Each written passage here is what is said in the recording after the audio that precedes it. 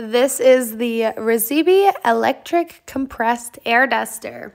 So this is a 500 watt professional dust blower with two adjustable speeds. So you've got level one or level two, as you can see here.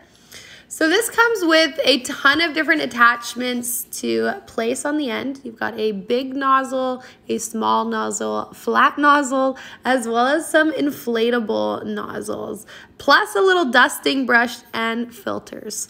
So the big nozzle here is great for uh, air conditioners or just like larger areas that have collected dust, whereas these smaller ones are great for keyboards, uh, laptops, fans, cameras, uh, where the flat ones are good for any kind of like window ledge style areas that are very much flattened out. And then the inflatable ones good for pool style items.